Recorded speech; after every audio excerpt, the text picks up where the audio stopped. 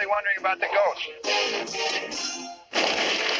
I've been waiting 25 years for this. I wish you'd waited longer.